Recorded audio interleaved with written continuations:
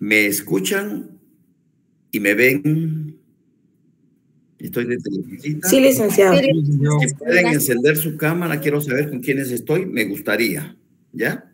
Buenas, buenas tardes a todos. Bienvenidos.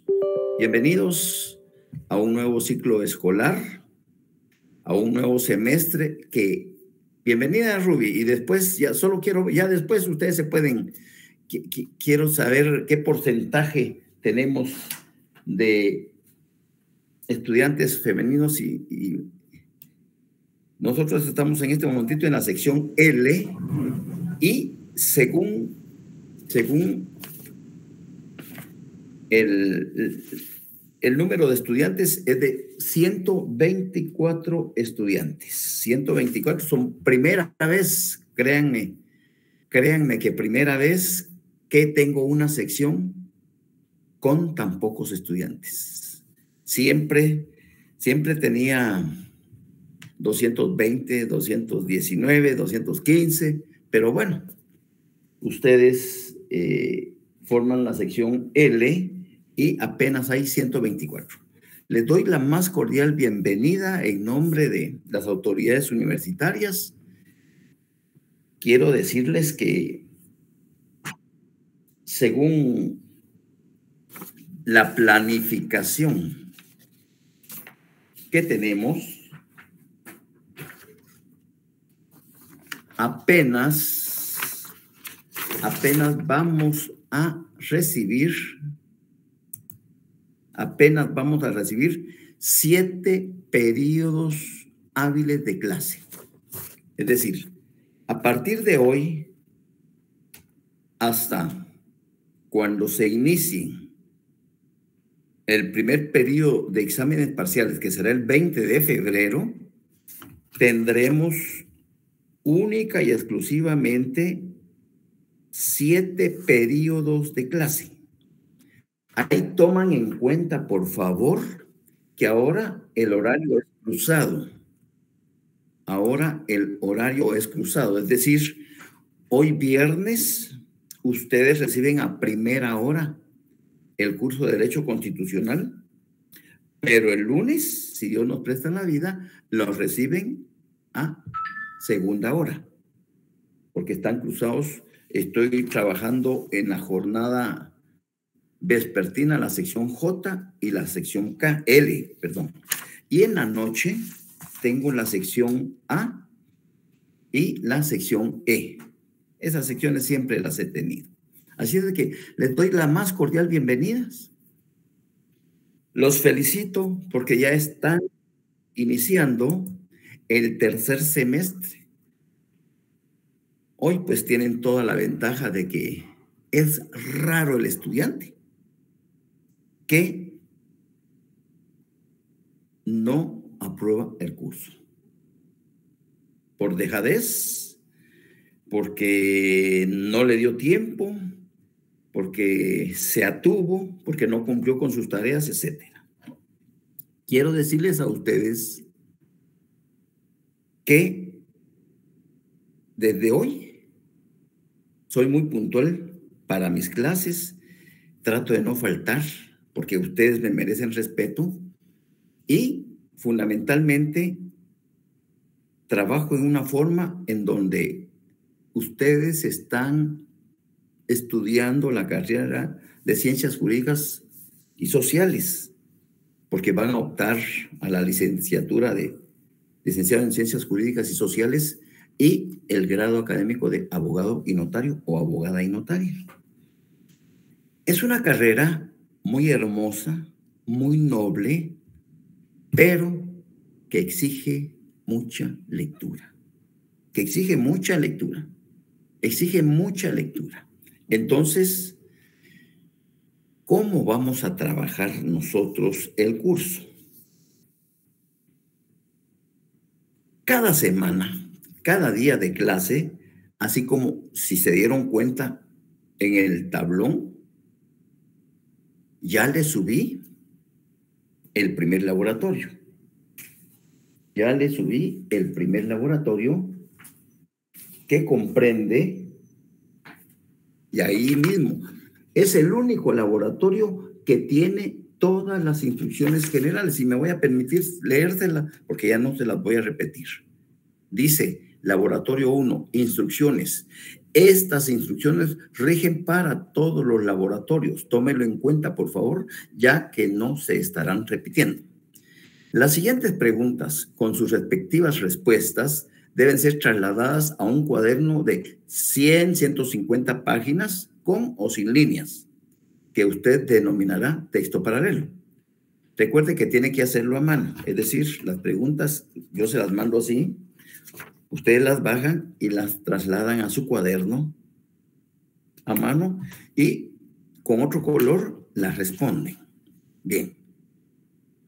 Utilice el lapicero de colores diferentes, uno para las preguntas y el otro para las respuestas. Los documentos que debe consultar primordialmente son, en primer lugar, la Constitución Política de la República de Guatemala. Esto es nuestro machete. Yo voy a estar satisfecho al final del semestre si ustedes no, no voy a decir de que van a salir declamando la Constitución. Eso es mentira. Pero sí, ustedes van a ubicar las instituciones principales de nuestra República de Guatemala en la Constitución. Porque esta es la base fundamental, no solo de la jerarquía normativa, sino la base que rige las relaciones entre los gobernantes y los gobernados. Bueno, entonces la Constitución es, el, en primer lugar, su machete. Las leyes orgánicas, la ley orgánica del Ejecutivo, por favor, vayan haciendo su biblioteca jurídica, la ley orgánica del, la, del organismo judicial, la ley orgánica del organismo legislativo. Estas tres leyes desarrollan, amplían el contenido constitucional de de la Constitución. Es decir, cuando ya estemos dentro del desarrollo de lo que es el organismo legislativo, por ejemplo, ustedes saben que el organismo legislativo en la Constitución comprende del artículo 157 al artículo 181. Ahí están regulados todos los artículos relacionados con el organismo legislativo. Artículos del 157 al 181. Del 182 al 202 está regulado todo lo que se relaciona con el organismo ejecutivo. Y del 203 al 220 está regulado todo lo relacionado con el organismo judicial. O sea, ya tienen ustedes la estructura de la forma como está organizado el Estado de Guatemala. De esa cuenta, entonces, semanalmente les estaré subiendo un laboratorio. Este es el número uno. Yo ya tengo, por lo menos aquí, tengo el 1, tengo el 2, tengo el 3, tengo el 4,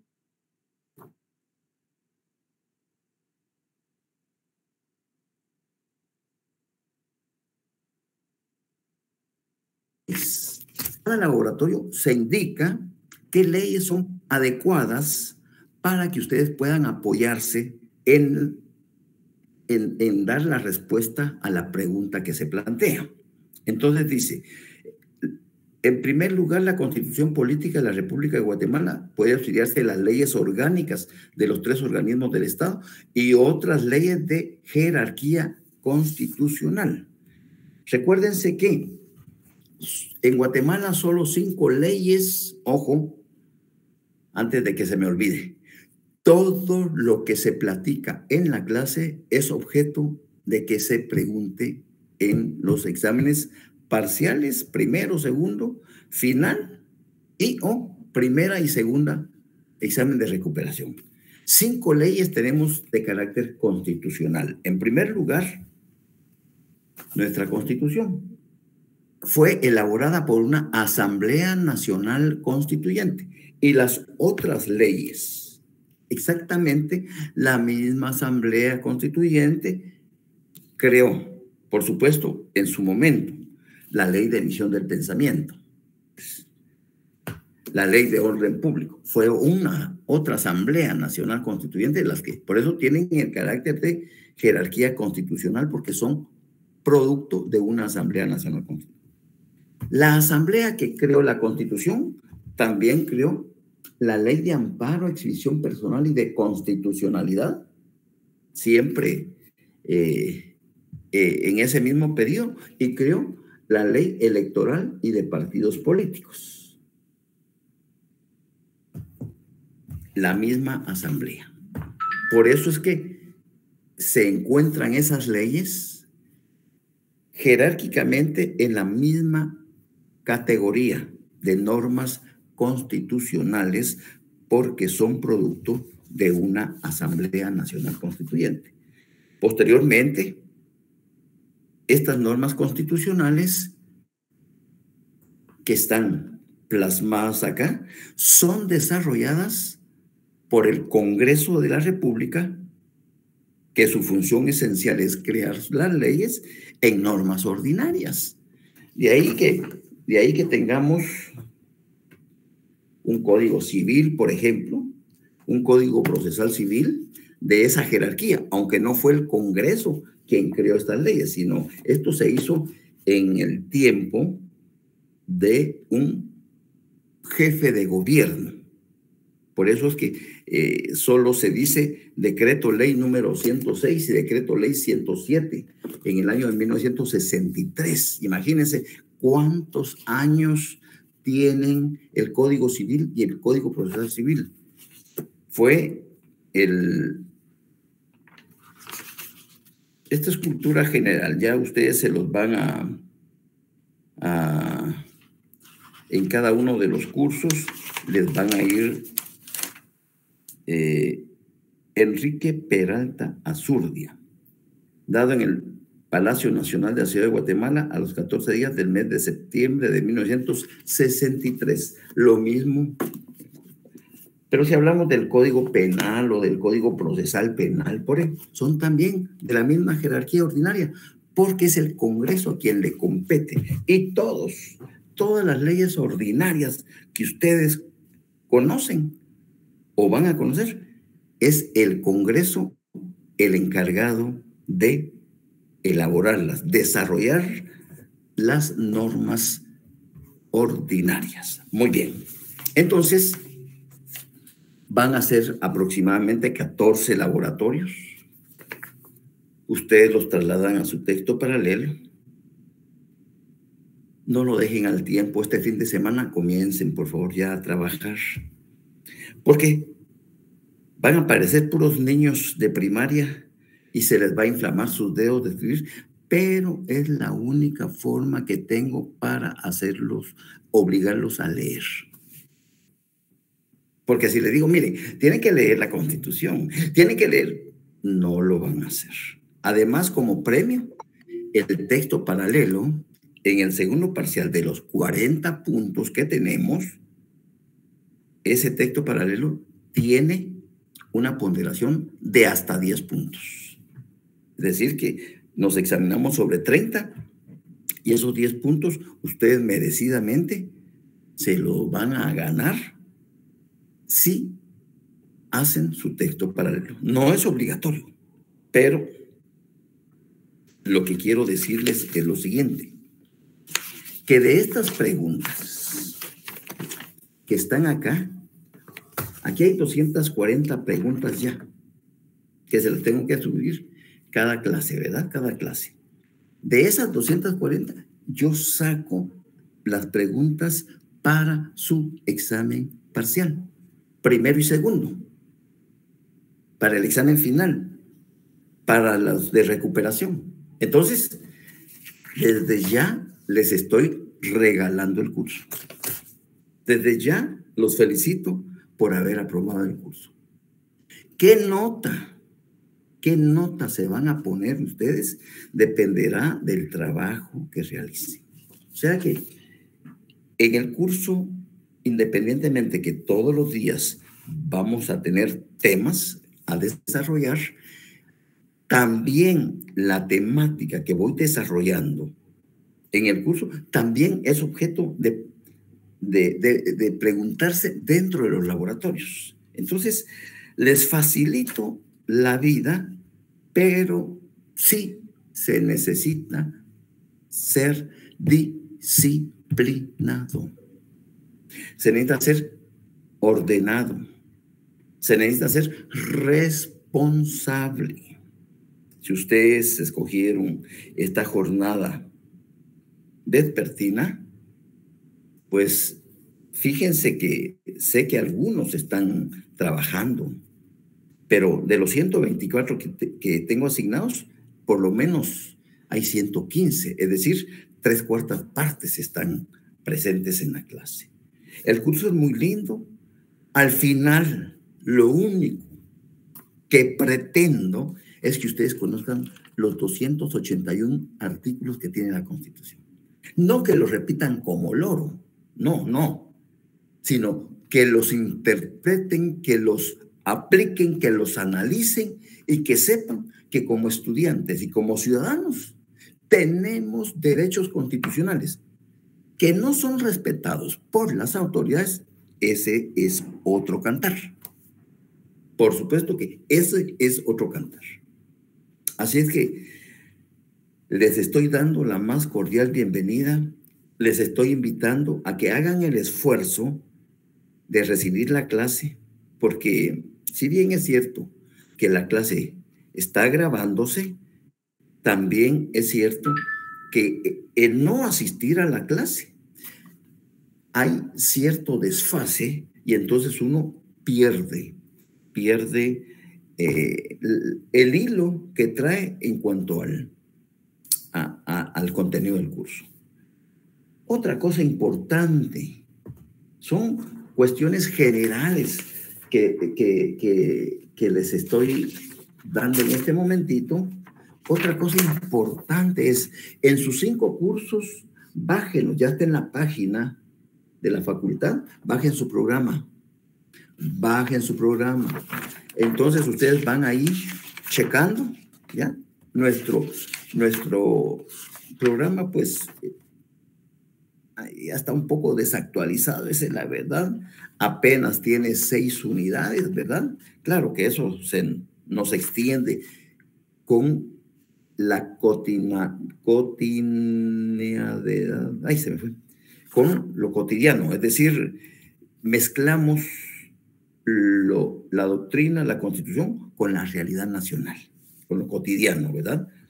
Porque para eso está la constitución, para entablar esa comunicación entre gobernantes y gobernados. Sin embargo, como ustedes sabrán y se han dado cuenta, lamentablemente la captura que se ha hecho de los órganos del poder por parte de cierto sector dominante corrupto de la población hace que no exista una certeza jurídica en Guatemala y que la mayor parte de los países del mundo nos ven así con cierta desconfianza. Nosotros, los los veteranos ya no pudimos hacer nada por mejorar el país y arreglarlo. Y yo creo que serán ustedes, las nuevas generaciones, las que tendrán que leer y leer y leer para tratar. Por ejemplo, aquí está el diario de Centroamérica.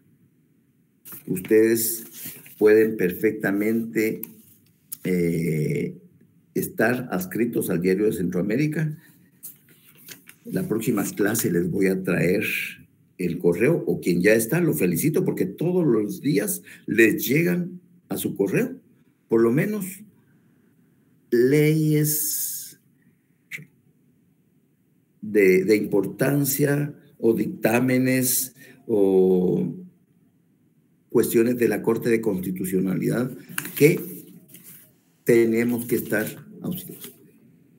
Este diario es del lunes 23 de enero de este año y es donde el Tribunal Supremo Electoral convoca al proceso, ¿ya? Al proceso de elecciones. Y es bueno que lo tengan, ¿por qué?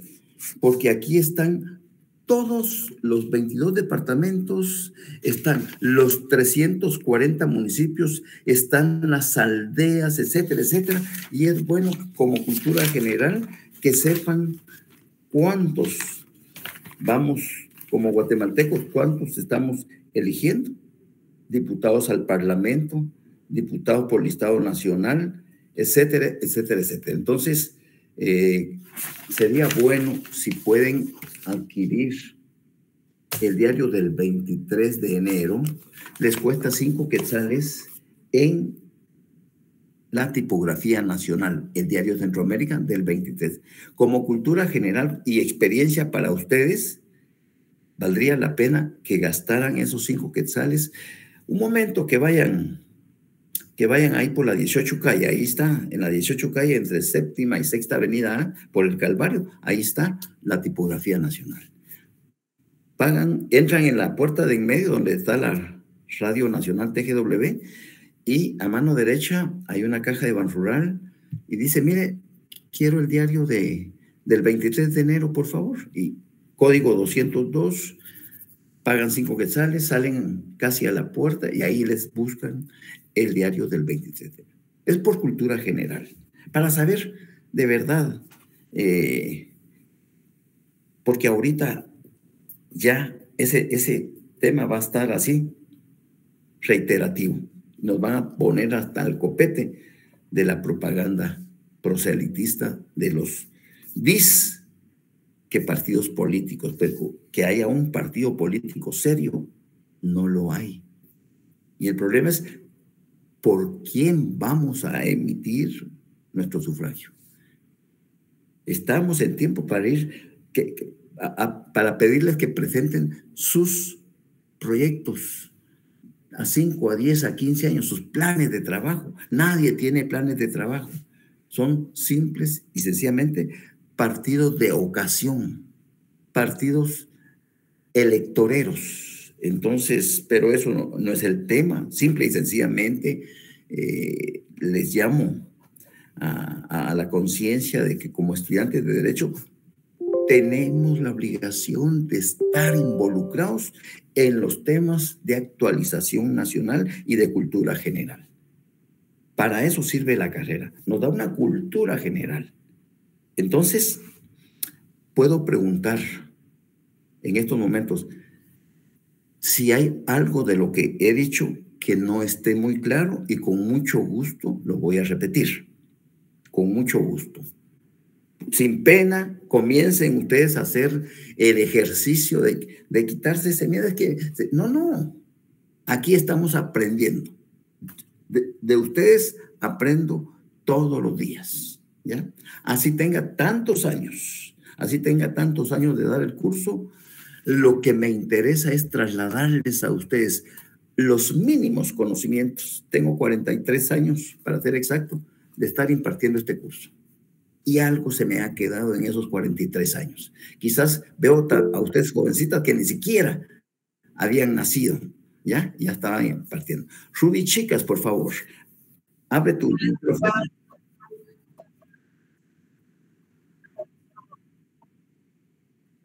Sí, ahí mismo, al mismo. No, mija linda, no. Tú tienes que comprar un cuaderno, un cuaderno de, de 150 hojas, porque son, van a ser más de 500 preguntas. Compra su... No, eso es para ustedes, es el trabajo que van a hacer ustedes día con día y les va a quedar a ustedes porque ese texto paralelo les va a servir para estudiar no solo el curso, para ganar este curso, este curso ya lo tienen ganado, sino para los demás cursos de acá en adelante. Y cuando estudias tus técnicos profesionales, la fase privada y pública, te vas a fundamentar en esos textos paralelos de constitucional y de procesar constitucional y es la mitad, les garantizo que es la mitad de el estudio que se les exige para el área pública de derecho penal, derecho laboral, derecho administrativo. Ya ustedes van a tener un 50% si ustedes tienen bien ordenadito ese texto paralelo. Entonces, a mí no me entregan nada, no me, no me van a estar escaneando. El que quiera hacer lo que lo haga, punto. Ah, no, yo, sí, sí, no, no, calificación tiene, por supuesto. Y ya el la próxima clase, yo hasta fecha les puedo dar para, para, para calificación, que será en mayo aproximadamente, aproximadamente la calificación del texto, si nosotros tenemos el exámenes finales del 15 al 26 de mayo, estoy, estoy eh, viendo que podría ser la calificación del texto el, el 3, 4 de mayo, que sea lunes o viernes, 3, 4 de mayo, por ahí el próximo día de clases ya les tengo con certeza la fecha para calificar el texto, porque aquí no tengo un calendario, ¿ya? Pero, eh, Ruby, ¿te quedó claro? A mí no me tienes que subir ningún, no, no. Pero sí pregunten. ¿Alguna otra pregunta? ¿Alguien estaba preguntando por ahí, por favor? ¿qué tal? Eh, yo tenía una duda, eh, lo mismo que la compañera, pero yo creo que ella se refería a que el mismo día que usted calificaría el texto, serían, no sería válido los 10 puntos, ¿verdad? Efectivamente, efectivamente, efectivamente, así es, Aid, así es. Es decir, pero la nota es más, se las voy a adelantar. Ustedes se van a calificar su texto, porque vamos a hablar una clase sobre la ética profesional. Por aquí, por aquí les tengo algo bonito, porque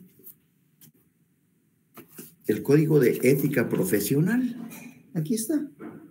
Entonces de ahí sacamos unas 20 preguntitas dentro del laboratorio para que conozcan ustedes. Pero si eso es el notariado, no importa. Comencemos desde ya a retroalimentarnos porque esta carrera, esta, este curso o esta carrera es de nunca acabar, de nunca. Ustedes malditamente o benditamente están en una carrera donde todos los días hay que leer. Y quien no tenga hábito de lectura, señores, aquí, aquí por lo menos en el curso, va a desarrollar ese hábito de lectura ustedes mínimo tienen que leer una hora diaria para comenzar, ahorita que están en tercer semestre, una hora diaria. Así, en el ambiente que ustedes escojan, independientemente de recibir sus clases, su trabajo, una hora mínimo.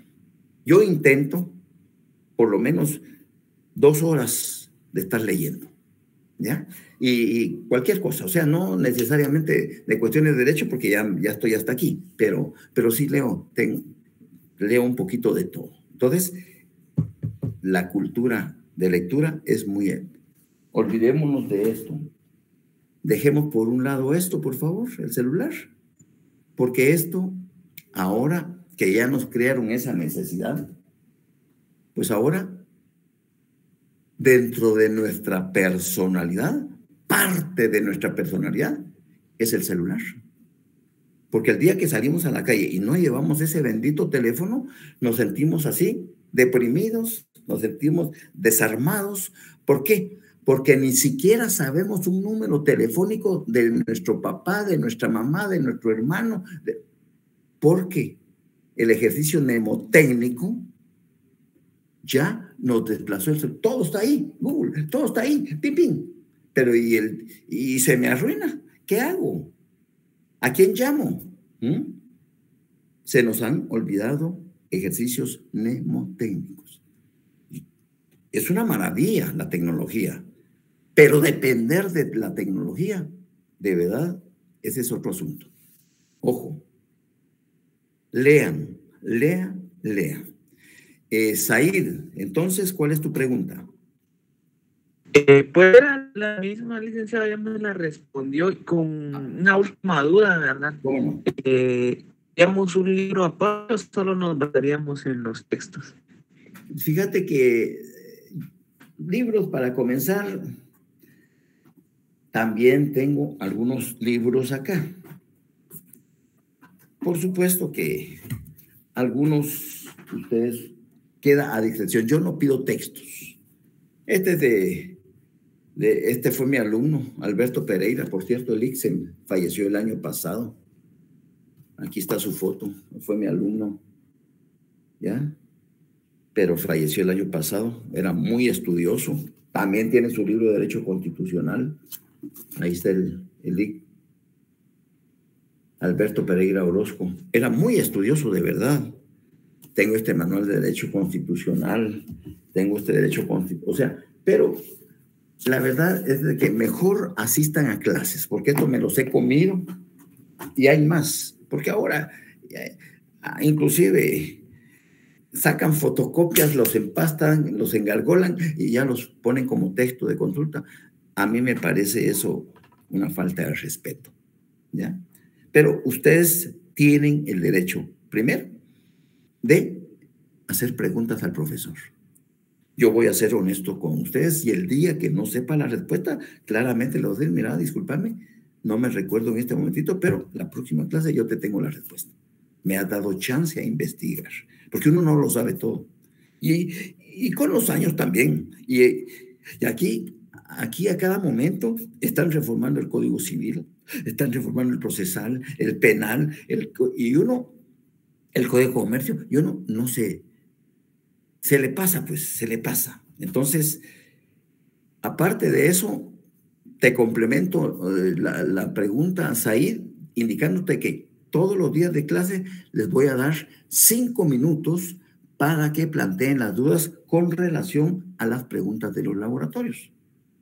O sea, si ustedes eh, no encontraron las respuestas, no se las voy a dar, pero les voy a sugerir dónde están, ¿ya? Pero ese ejercicio es de, de todos los días de clase, ¿de acuerdo? Catherine, por favor, activa tu micrófono. Buenas tardes, licenciado. Disculpe la molestia. Eh, ¿Sería tan amable de volver a repetir las cinco leyes constitucionales que vamos a utilizar? Por con mucho gusto, con mucho gusto. Tenemos la ley de emisión del pensamiento. Que si te vas a la constitución, ¿dónde está mi constitución? Aquí está ¿A alguien de ustedes no le presté mi constitución, muchachos? ¿Dónde está mi constitución? Aquí está. Se fue entre estos libros. Fíjate que está la ley de emisión del pensamiento, pero te vas a la constitución y ves tu, tu artículo 35, ¿ya? libertad de emisión del pensamiento. Esto está, el artículo 35 de la Constitución está amarrada con esta ley. Está amarrada con esta ley. Este es el producto de una asamblea. Está la ley de orden público. También es otra ley de carácter constitucional. Está, esta es preciosa en el próximo curso, Ley de Amparo, Excisión Personal y de Constitucionalidad, que entró en vigencia el mismo tiempo que entró esta Constitución. ¿Ya?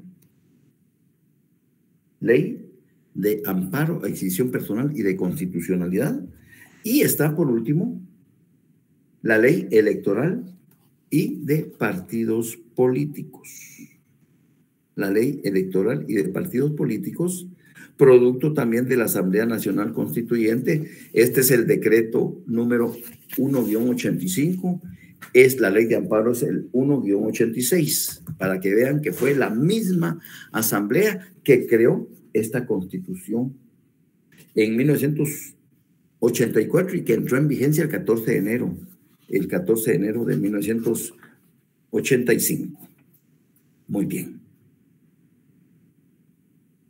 Gracias, licenciado. Para servirte. ¿Alguna otra duda?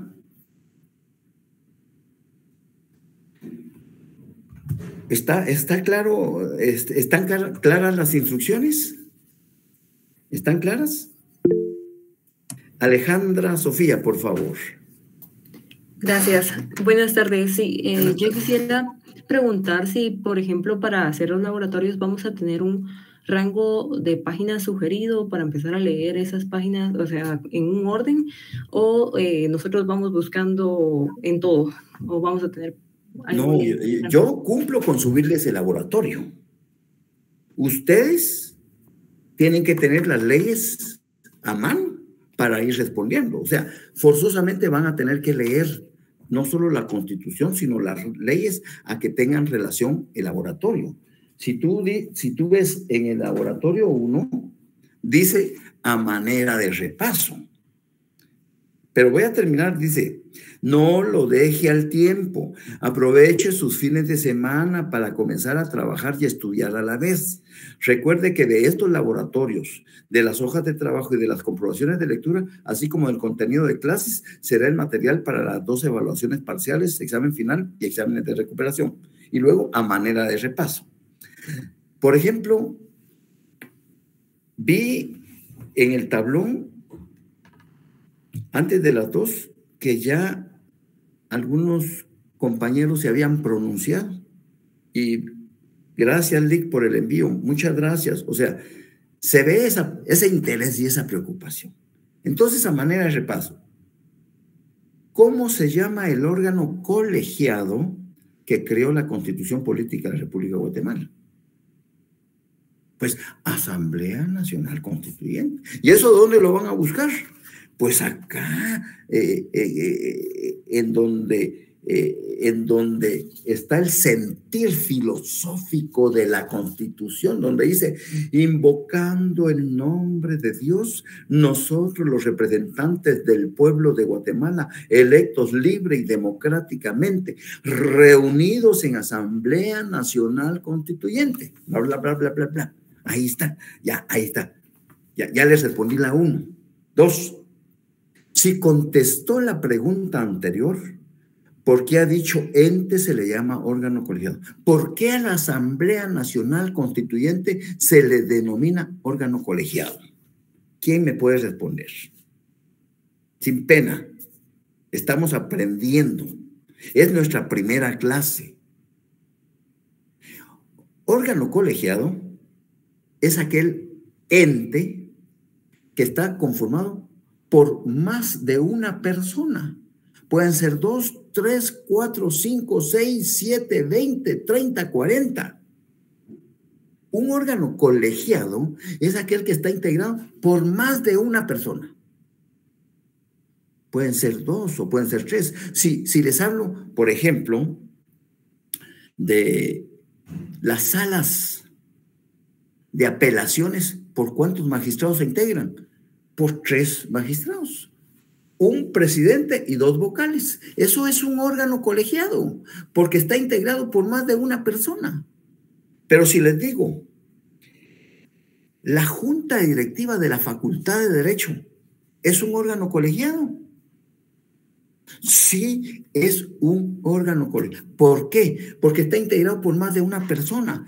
Está el decano, está el vocal primero que representa a, los profesores titulares, el vocal segundo que representa a los profesores titulares, el vocal tercero que, es representante del colegio de abogados y los vocales cuarto y quinto que, que son representantes de los estudiantes. Entonces es un órgano colegiado, la junta directiva.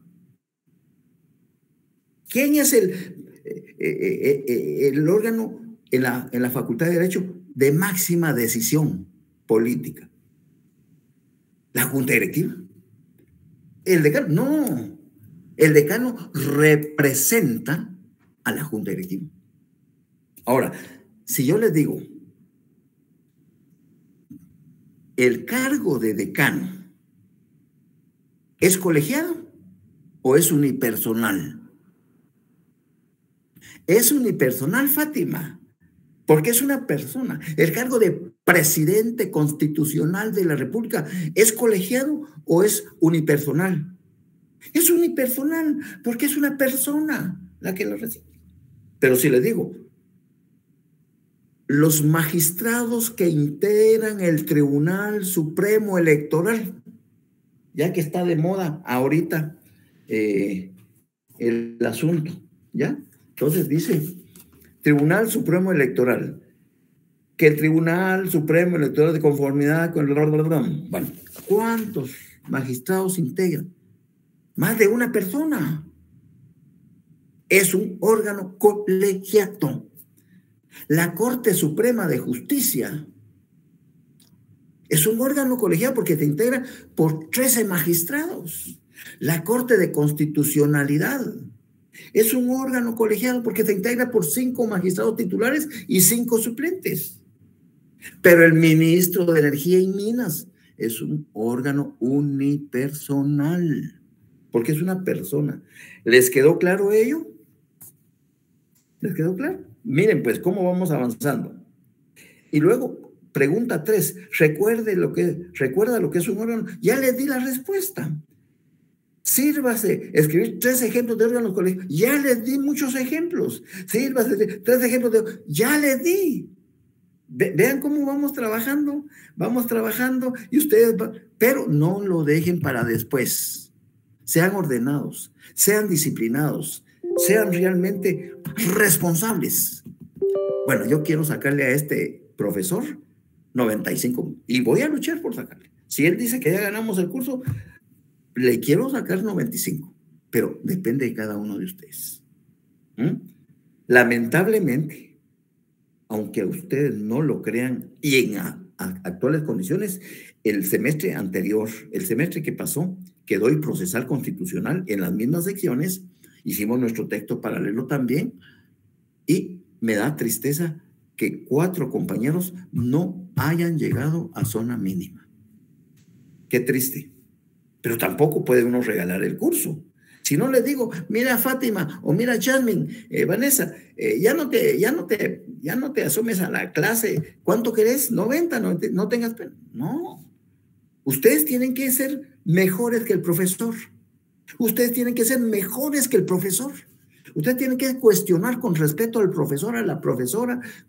Con respeto, profe, puede ampliar, puede ejemplificar. Para eso está uno acá para tratar de llevarlos de la mano, pero ustedes tienen que poner su parte. Y la única forma en que yo puedo exigirles es haciéndolos trabajar. Puros niñitos de primaria. Así, aquellos repasando, así. Pero van aprendiendo dos y tres veces, porque leen la pregunta, la transcriben, leen la respuesta y ya se les quedó. Es un buen ejercicio mnemotécnico. Así es de que, bueno, ¿alguna otra pregunta? Estoy muy contento porque primera vez que me tocan 124 estudiantes, créanme, estoy muy contento. Entonces, eso me motiva a, tratar de dar lo poco que sé y trasladárselos a ustedes. Vamos a iniciar entonces, si ya no, hay alguna pregunta, si no hay alguna pregunta, eh, vamos a, Mónica, ¿quieres preguntar? No, mira, vamos a hablar del constitucionalismo y la democracia constitucional. Por supuesto que a grandes, cuando yo les diga, vean, tomen nota de esto, es porque vale la pena que ustedes eh, esas pastillitas, esas capsulitas, las vayan tomando en cuenta porque eh, es importante. No nos vamos a ubicar como, como, dice Feliciano Calzada Padrón. Feliciano Calzada, este es un libro mexicano y habla de la historia del constitucionalismo, pero de, las formas de organización antigua de Grecia, Roma, India, China, los hebreos, el constitucionalismo anglosajón, Inglaterra, Estados Unidos, el constitucionalismo europeo, Francia, España, bla, No, no, no, eso no.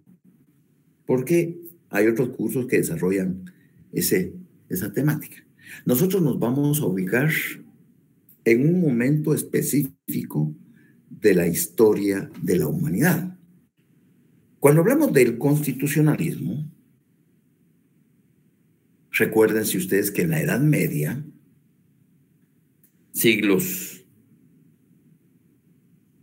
13, 14, 15, 16, pues eran monarcas, unas monarquías que concentraban el ejercicio del poder político entre sus manos y ellos emitían sus leyes y ellos mantenían las relaciones, confrontaban, ellos tenían el poder. Pero, como todo poder, se va corrompiendo y se va corrompiendo y se va corrompiendo a tal extremo que ellos mismos dictan las condiciones para que la población se subleve, para que la población se sobreponga. Y ese es el momento histórico de la famosa Revolución Francesa. Es decir, ya la población ya no toleraba y soportaba los desmanes de la monarquía. Es lo que está pasando ahora, pero en, la modernidad con nuestros países. Es lo que lo mismito que está pasando ahora con nuestros países. Cuando digo nuestros países, estoy hablando de Brasil, de Venezuela, de Nicaragua, de Guatemala, de El Salvador, de Honduras. O sea, es lo mismo. Son ciertos sectores económicamente dominantes que ahora se incluyen dentro de esos sectores económicamente dominantes a los narcotraficantes, pues, que ya tienen sus partidos políticos y están dispuestos a competir en el presente evento electoral acá en Guatemala. La mayoría, la mayoría que ha cooptado a todas las instituciones principales como el Tribunal Supremo Electoral, como la Corte de Constitucionalidad, como la Corte Suprema de Justicia, como el Ejecutivo, etcétera, Entonces, el Congreso de la República.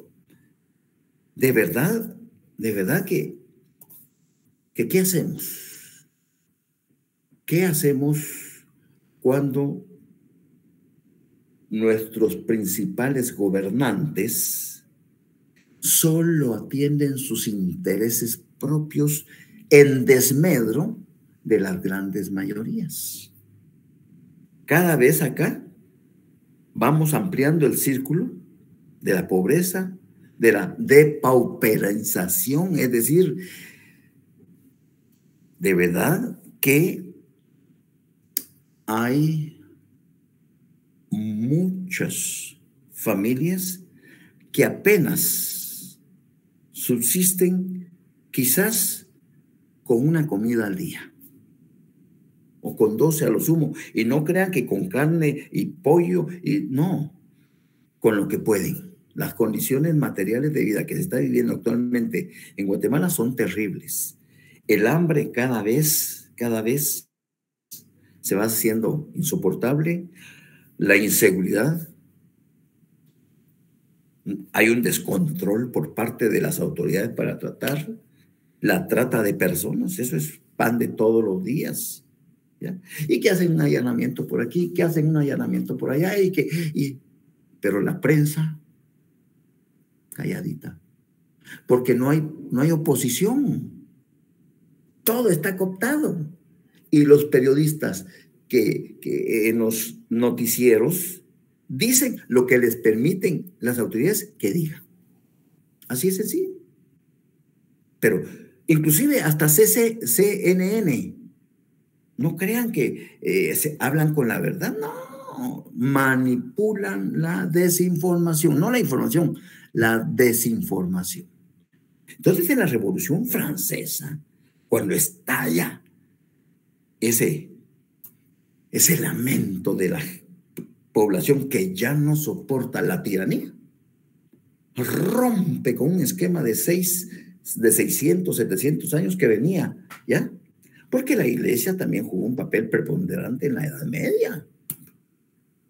Y acuérdese que hubo cuántos siglos de oscurantismo, cuántos siglos de oscuridad, porque la ciencia no era aceptada por la iglesia. Todo lo que se decía la iglesia por don, pues eso. Y de esa cuenta, los, los gobiernos teocráticos surgían a la palestra, ¿verdad? Llega Galileo Galilei en aquel entonces con su y descubre que la Tierra no es el centro del universo. Descubre que no, nosotros no somos el centro al que alrededor giran los no. Nosotros también tenemos un movimiento de traslación y un movimiento de rotación sobre el eje y que nos movemos. Y así lo hace saber a las autoridades de ese entonces. Lo mandan a llamar, venga para acá usted, el Tribunal de la Santa Inquisición, ¿verdad? Mire, retráctese de lo que acaba de decir, por favor, o se va a la hoguera. El señor ya tenía setenta y tantos años y se agüitó. Se agüitó. Y, pues sí, me equivoqué, pues eh, sí, es, no, no, es, no, no, no, lo que, no, no somos, seguimos siendo el centro de la tierra nosotros. Pero antes de morir, cuatro años después, cuando tenía 76 años, dice sus últimas palabras, y sin embargo se mueve. Y sin embargo se mueve. ¿ya? Entonces, en esa época de la Revolución Francesa, surge un nuevo movimiento político, económico, jurídico, ideológico, que trata de cambiar la forma en que se estaba gobernando. Y uno de los requisitos esenciales para que surja ese constitucionalismo era que debería existir una república y en cada república debería tener una constitución. Y en la constitución debería de plasmarse la forma como la separación de poderes funcionarían de tal manera que hubiese un balance entre los organismos que ejercían el poder político de dominación en la República, pero con el respeto de que nadie pudiese entrometerse en el qué hacer de cada organismo. Esas fueron exigencias, porque John Locke, Diderot, Montesquieu, Juan José, Juan, Juan Jacobo Rousseau, etcétera, ideólogos que venían trabajando una nueva forma de gobernar al mundo por parte de cada uno de los países. Y comienzan con la famosa separación de poderes, que existiera un organismo que se dedicara a crear leyes de observancia general y de aplicación obligatoria y forzosa. Que hubiera otro organismo que administrara esas leyes en función de todos los pobladores. Y que existiera otro organismo que aplicara esas leyes a los casos concretos que se suscitaban en el quehacer cotidiano. Entonces, también otro concepto hermoso que surgió en ese entonces de la con la Revolución Francesa no solo fue el nacimiento de la República Francesa, el nacimiento de la Constitución, la separación de poderes, otro concepto hermoso, la famosa soberanía popular, que da como consecuencia el camino a la democracia. La soberanía popular es el derecho que tiene cada país del mundo para ordenar de una mejor manera las condiciones materiales y espirituales de vida de sus pobladores. Pero nosotros, nosotros, países como Guatemala, como El Salvador, como Honduras, como Nicaragua, como Costa Rica, como Panamá, Venezuela, Bolivia, Argentina, Chile, Brasil, Perú, etcétera, etcétera, México, nosotros giramos alrededor de un sol. Como que estamos en una órbita, estamos girando alrededor de un sol que se llama Estados Unidos, el país hegemónico, la metrópoli. Nosotros somos países satélites de los Estados Unidos y a los Estados Unidos no les interesa en absoluto Guatemala o El Salvador, no, porque solo problemas le están dando con las migraciones ahora. Pero dependemos, oigan, oigan bien esto, dependemos estructuralmente de ese país. Cuando digo estructuralmente, me estoy refiriendo desde el punto de vista económico, ideológico, de la cultura, de las modas, de, toda la basura. Porque Estados Unidos está en una decadencia absoluta que los medios de comunicación o de desinformación jamás nos van a enseñar esa realidad que viven muchos estados de los Estados Unidos. Y no digamos la población. O sea, para que sea el, el mayor consumidor de drogas del mundo, el mayor consumidor de drogas del mundo. ¿Mm? Entonces nosotros le somos útiles porque por aquí, por aquí, servimos de paso para que venga la droga de allá de América del Sur, pase por México y la introduzcan. Y claro, hacen el aspaviento y hacen la bulla y que eh, se extraditan a fulanitos. Eso no tiene nada que ver con los millones. ¿Por qué? Porque los mismos presidentes tienen su, tienen ahí su, su talacha, pues tienen su, su, su untadita de manos. Eso, eso siempre ha sido así y siempre va a ser así, porque eso no puede salir de esa estructura. ¿Ya? Entonces, se supone que Guatemala es un país tal y como, vayámonos al 140, pues por favor, yo sé que algunos ya tienen su constitución. 140. Para el próximo lunes yo les pediría de favor que tengan la bondad de tener mínimo su constitución, las leyes orgánicas. Ley orgánica del Ejecutivo, ley orgánica del Legislativo y ley orgánica del Judicial. Y claro, si pueden tener las otras leyes constitucionales, qué mejor. Vayan haciendo su biblioteca. Tienen que hacer su biblioteca jurídica de a poquito, de a poquito, de a poquito, de a poquito. Por eso es que no les recomiendo ningún texto.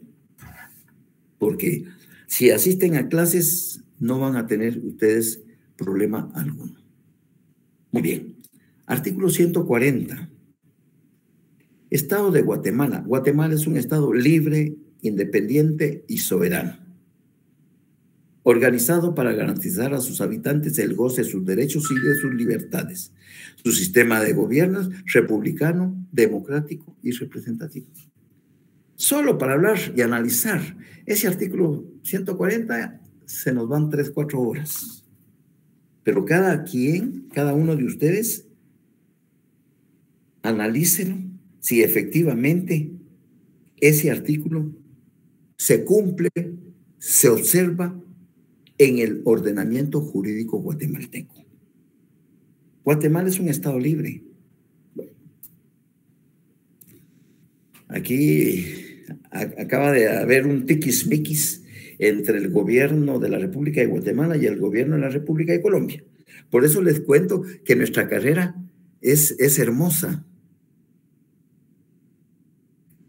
Eh, con mucho gusto, con mucho gusto. Me corrige alguien. Aparte de la constitución, si pueden adquirir las tres leyes orgánicas de cada uno de los organismos del Estado. La ley orgánica del legislativo, la del ejecutivo y la del judicial. Estas no creo que cuesten más allá de 10 quetzales, que son estas. Esta es la LOG, esta es la ley del organismo, ah, no, esta es la LOG, perdón. Esta es la del Congreso de la República, la ley orgánica del organismo legislativo. Y esta es la ley orgánica del Ejecutivo. Y las leyes constitucionales que ya les había mencionado, la ley electoral y de partidos políticos, la ley de amparo, decisión personal y de constitucionalidad, la ley de orden público y la ley de emisión del pensamiento y la constitución. Con eso para comenzar, para que no se vayan atrasando. Entonces, nosotros tenemos una dependencia estructural del país hegemónico, de ese sol que se llama Estados Unidos de América.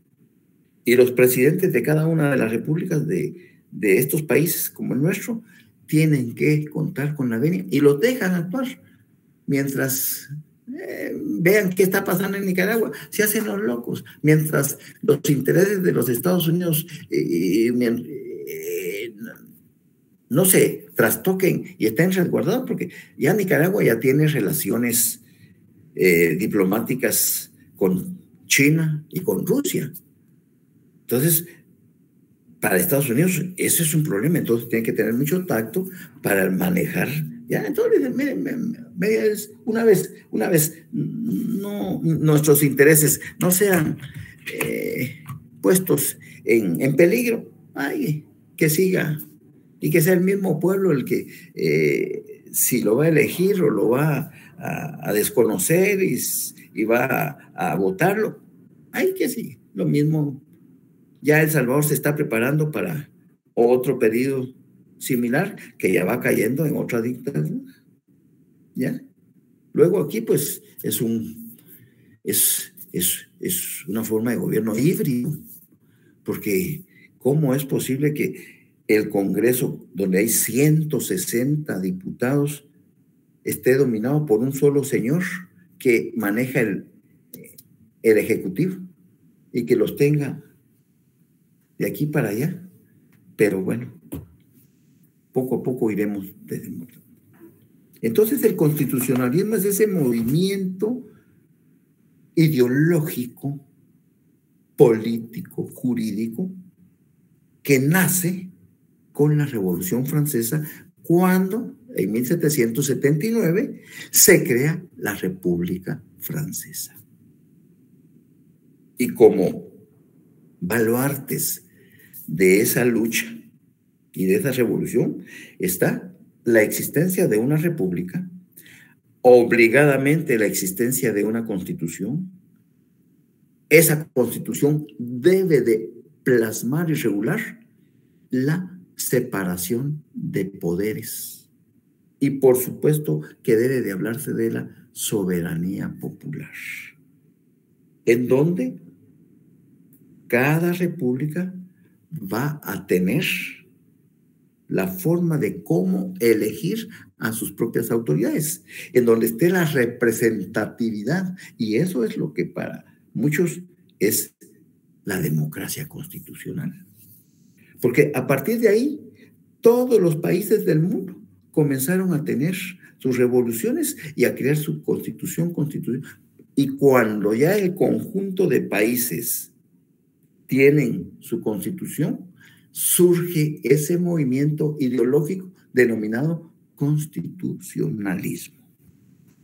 ¿Dudas, preguntas? ¿Vamos bien? ¿Me, estoy dando a entender? Entonces, anótenme esto, por favor. Esto sí, por favor, quisiera que, que me lo anotaran porque es importante esta pastillita que les permita recordar como sistema político,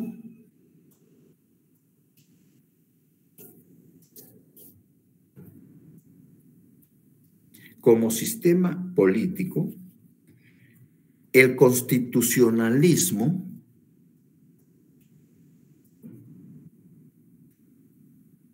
abarca diversos tipos de gobierno. Repito, como sistema político, el constitucionalismo abarca diversos tipos de gobierno. Coma. Todos ellos se caracterizan, todos ellos se caracterizan porque a través de la Constitución, porque a través de la Constitución se distribuye el ejercicio del poder político, porque a través de la Constitución se distribuye el ejercicio del poder político. Coma. Entendiéndose este, este, este va tildado en la primera E, entendiéndose este, y todo esto subrayado, por favor, como aquel en que se está legalmente autorizado como aquel en que se está legalmente autorizado para ser soberano, para ser soberano de la sociedad estatal. Punto. Se lo repito. Como sistema político, el constitucionalismo abarca diversos tipos de gobierno, todos ellos se caracterizan porque a través de la Constitución se distribuye el ejercicio del poder político, entendiéndose este como aquel en que se está legalmente autorizado para ser soberano de la sociedad estatal. Y pongan ahí, ver, entre paréntesis, artículo 140, Constitución. Estado de Guatemala. Guatemala es un Estado libre, independiente y soberano organizado para garantizar a sus habitantes el goce de sus derechos y de sus libertades. Y aquí mismo responde a, parte de la definición esa que dice, su sistema de gobierno es republicano, democrático y representativo.